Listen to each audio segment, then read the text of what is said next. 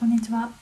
今日は今週の週末は熊本の竹笛っていう旅館に来ていてでその中の月影っていうところに今日は泊まってるんですけどこんな感じで各個室に温泉源泉かけ流しの温泉もついて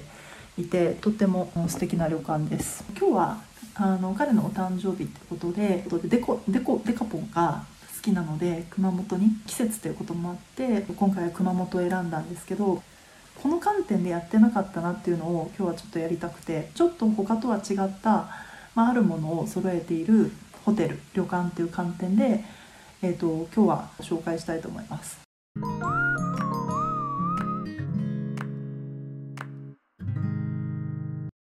それが、えー、こちらアメニティなんですけど、えーと、ここはエルメスのアメニティがすごい旅館ザ旅館なんですけどあの置いてあるものとかもこう最新のスタイリッシュな家電が置いてあったりとかでシャンプーも6タとか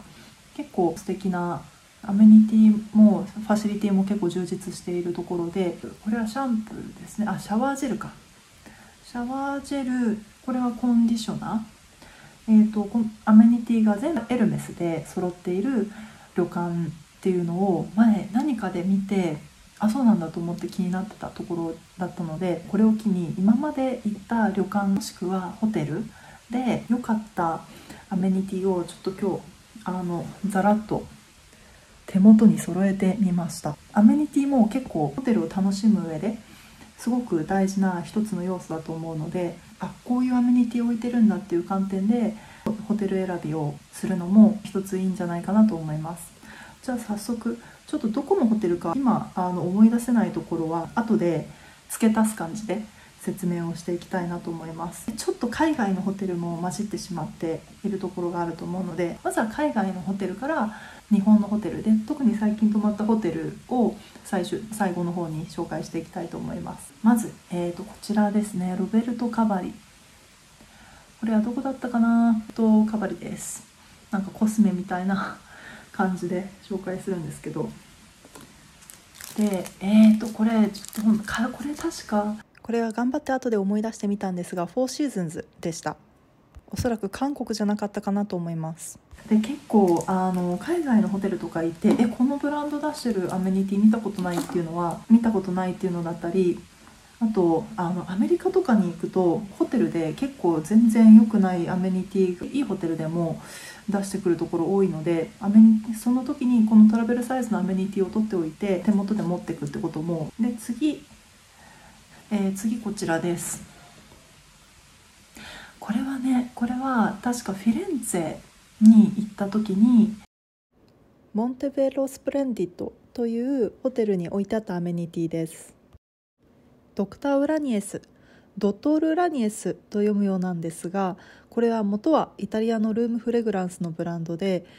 えっと、以前ホテルで、えっと、嗅いだ香りがすごく素敵でで探したらここであのフィレンツェでこのブランドが出てきた時にあこれやっぱフィレンツェなんだって思いっきり書いてあるんですけどって思ってすごい感動した覚えがあります、えー、次がですねこれもまたフィレンツェなんですけどフィレンツェに行った時に泊まったフェラガモのファミリーがやっているホテルがあってで、えっと、そこのホテルに泊まった時にあったのがあのサルバトレ・フェラガモのアメニティです。でこれ結構日本でもあるんですよね。で直近だとこれが日本で、えーと、最近泊まったホテルアラマンダで、えーと、ホテルアラマンダのスイートルーム。スイートルームじゃなくても確かこのアメニティだったと思うんですけど、えーと、これサルバトレ・フェラガモのシャンプー、えー、コンディショナーとかボディジェルとかあのいろいろです。こんな感じで。ああとシャンプー。あシャンプーじゃなくて石鹸もですね。次このフェラガモのも結構あのそのホテルアラマンダ以外でも、えーと、日本国内で見たことあ見たことあるんですけどちょっと思い出したらまたあの書きます。でえっ、ー、とこれも、えーと、フェルサルバトレ・フェラガモのハンドクリームで同じフェラガモのアメニティでもシリーズが違うものがあるようでした。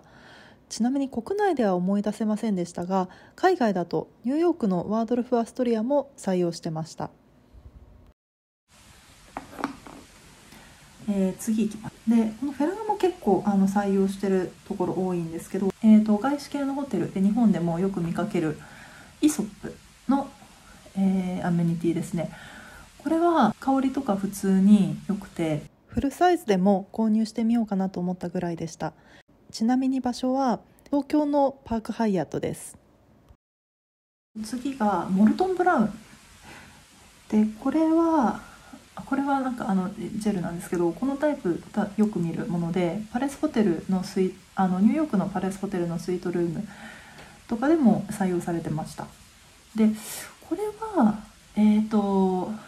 アムステルダムのホテルだったかな？と思ったんですが全然アムステルダムじゃなかったです。モルトンブラウンといえば品質の高さで英国王室御用達を誇るブランドですが欧州のホテルであまり見たことはなくてアメリカバハマあと日本のホテルで何度か見かけました。次,、ね、次はキールズ。キールズは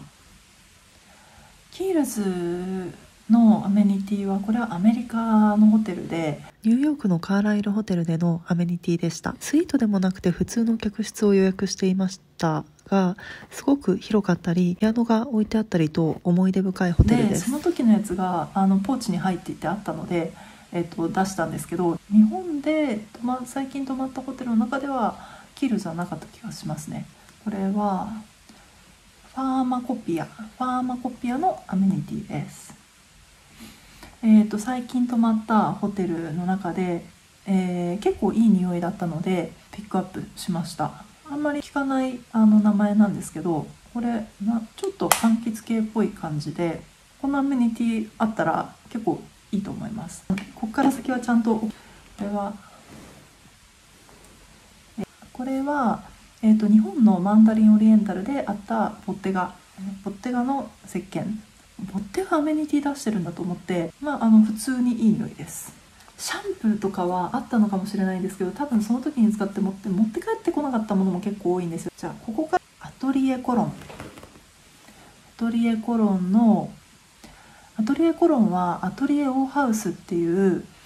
えー、一軒家のホテルですっごいあの良かったところなんですけどそこで置いてあったのが、えーと、こちらのアメニティで、まあ、フルでシャンプーとかボディーソープとかも全部ここのでありました。これはサンディエゴに行った時にデパートで確か見たで次、えーと、一一番よく見かけるのが良さげなところでよく見かけるのがこれ、まあ、ブルガリ。最近でもないですけど結構前からすごくよく見かけるのがブルガリのアメニティ使ってるところ多いですね。これ大きいタイプのところで確か沖縄にあるビラとかだと大体ブルガリのアメニティ使ってるイメージがあります。なんでブルガリのアメニティは多分過去に泊まったホテルのホテルでいうと少なくとも10箇所近くブルガリのアメニティ使ってたと思います。なんか初めはおお初めはおって思ったんですけどもうなんかあまりにも多いので最近はちょっと全然そう思わなくなりました。じゃあ最後に紹介するのがこちらです。えっとゲラン。ゲランのシャンプー、えー、あゲランのシャワージェルコンディショナーシャンプーですね。まず沖縄だとマガチャバルであともう一つ、えー、と東京だとキャピトル東京のワーケーションスイートにも置いてありました。えーと、どどっちから持ってきたんだったかな？えっ、ー、と確かマガチャバルから持ってきたと思うんですけどゲランのアメニティは今まで見たことなかったのでおおレアだなと思って取っておいたアメニティです、まあ、なんで結構あのレアなもので言うとこの、えーと、ゲランのものとあとあの今回のエルメスのエルメスのアメニティ使ってるのは国内ではここで初めて見たと思います。もう一つ動画編集中に仕事で行ったビジネスホテルで思いがけず新しいアメニティに出会ったので差し込みました。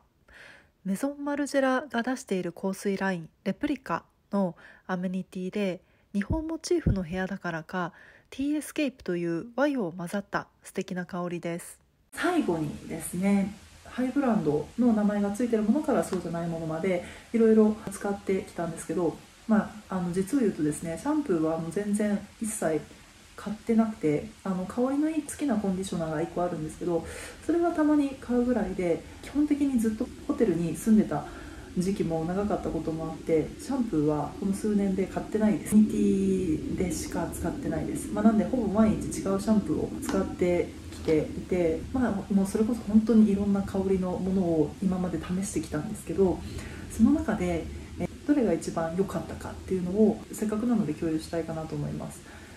で基本的にもこれは香りの好みとか私も髪の毛すごく長いんですけどシャンプーした後の指通りの良さとか。重要な要素になります。改めて記憶を呼び起こすために全部の香りをもう一度嗅いでみました。そして今回手元にあるもの以外に今までで最も思い出深いアメニティについても一つ触れたいと思います。ニューヨークのバカラホテルで、えっと、もらったアメニティはもらったアメニティが結構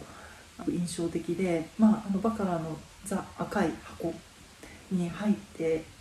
結構しっかりした箱に入っていてで中のボトルとかもフルフルサイズのボトルで入っていてで刻印とかも入って香りもすっごく良くて